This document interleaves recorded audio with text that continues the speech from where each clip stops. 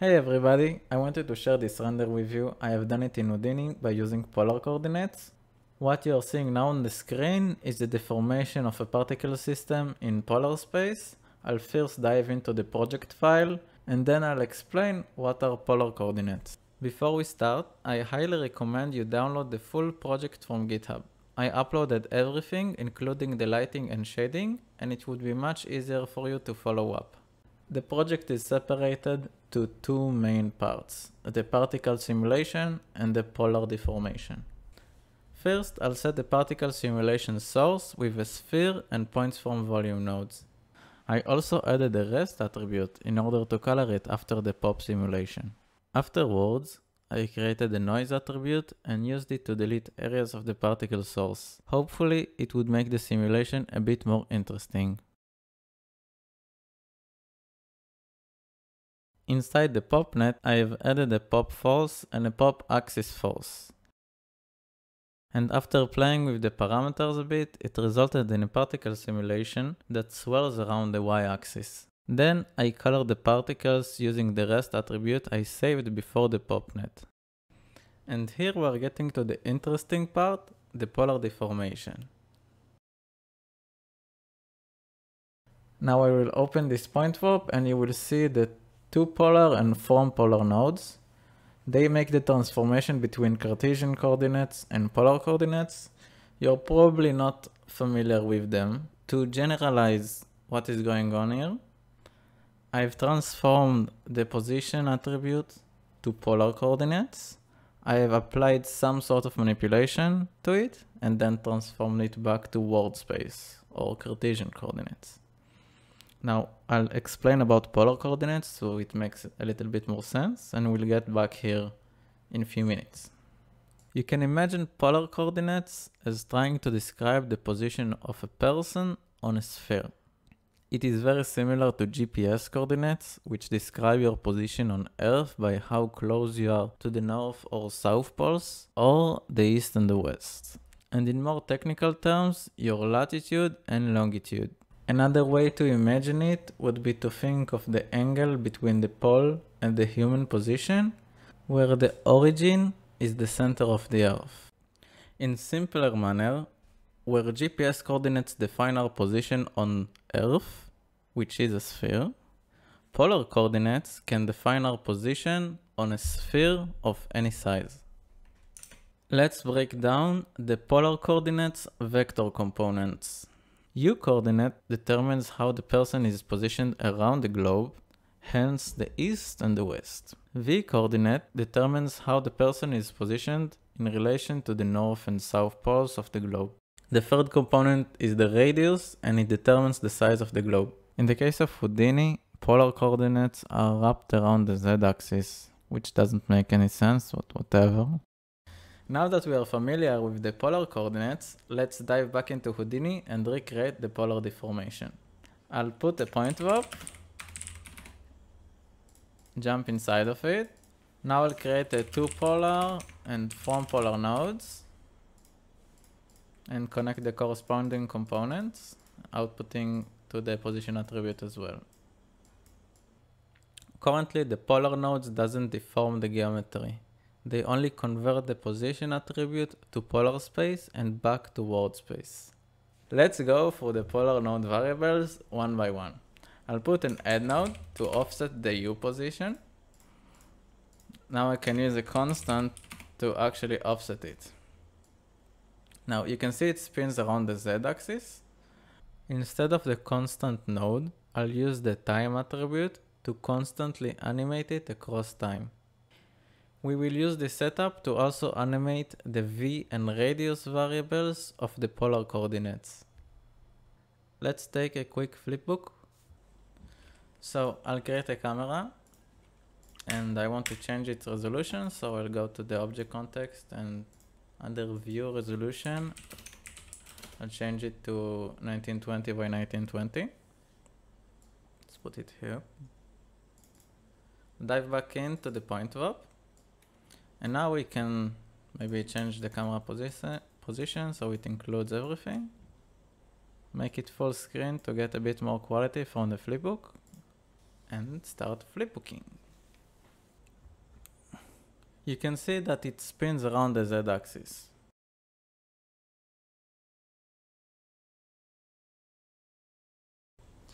Now we can use this setup to animate every every variable. Right now we are animating or offsetting the u variable. Let's try to offset the v variable now. So I'll disconnect everything, connect the v variable here instead, connect the u to the u, the offset v to the v, and the radius. Now we can see how the v is animated. Let's take a flipbook this deformation is very interesting and uh, also very hard to describe. So let's try and simplify it. I'll duplicate this node and I'll change its input to an add node. I'll add one point. So now basically we have one point that is deforming. We use the polar deform, we can call it polar animate v, okay, because we are using the time to offset the v component of the polar coordinates. To exaggerate the animation, I'll use a trail node. Let's use the particle trail node. And I'll set its subset to 10 and its shape to 10 as well. Okay. Now you can see the movement more clearly. I'll add more points so it's maybe a bit more obvious what is going on here. So we can put one here. Remember that when we are animating the v attribute of the polar coordinates, we are animating the longitude. We are translating the geometry between the north and the south poles of the sphere.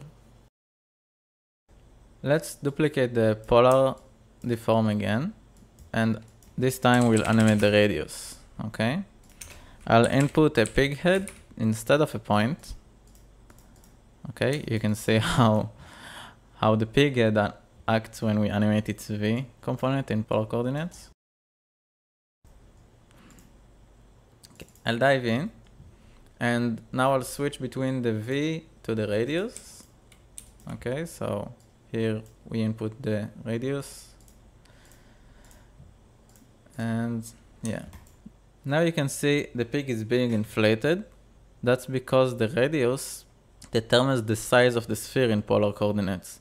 Raising its value pushes all the points away from the origin.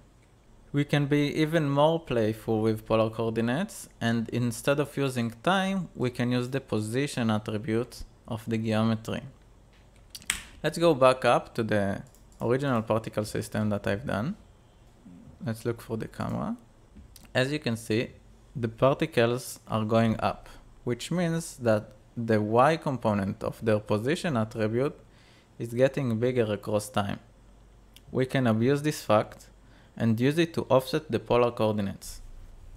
Now I want to use the y component of the position attribute to animate the v parameter of the polar coordinates.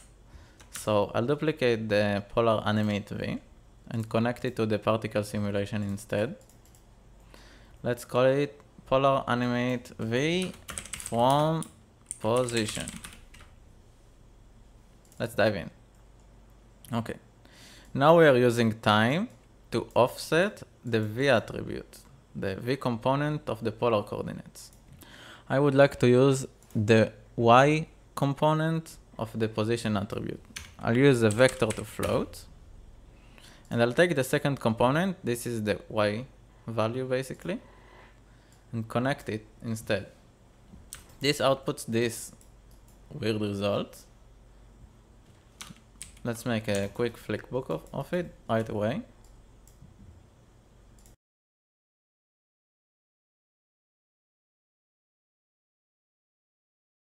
This is basically what I have created in the project initially. The last thing remains is to also connect the x and the z position attribute to the u and the radius components of the polar coordinates. So let's put two more add nodes, connect the u to the x, and another add node to connect the z with the radius. Let's organize it a bit so it makes a bit more sense. Okay. Now this is kind of a mess. So in order to control it, I'll use a fit node. I'll actually promote those parameters so I can control everything above this interface. And I'll rename it to min position and max position. And here I'll set uh, min amp minim amplitude. Let's use the size of the particle simulation to fit it first. So I think it's on 3. So size minus 3 minus 2 and 2 here minus 2 and 2 here. Okay. This already looks pretty interesting.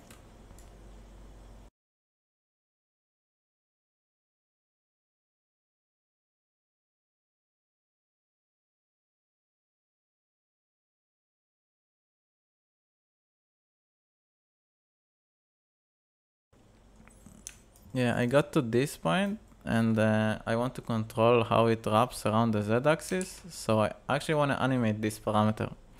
I'll go to the first frame, I'll set it to zero. And in the last frame, I'll set to set it to, let's say, one and a half. So it gives this uh, very interesting result. Okay, so this looks pretty interesting. Let's create a flipbook of this one.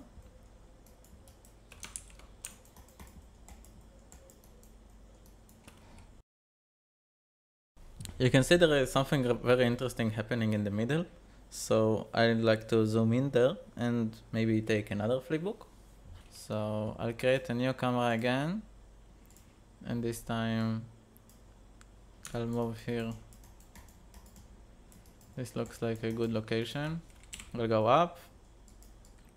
I'll take this camera, change this resolution to let's say 1920 by 1920 again. Want the focal length to be 22 maybe. That's pretty crazy. This looks pretty amazing. Let's see if it covers the camera at some point. Yeah, this is maybe too close. So this might be more interesting. Let's look at it again. Yeah, this looks much better. Let's take a flipbook of, of that as well. And uh, before, and let's just raise the point size to be a little bit bigger. Yeah, so that's my setup for polar deformations. I had the time to play with polar coordinates and I found the research and development to be very inspiring. So I'll share a small compilation of it and then we can talk about it.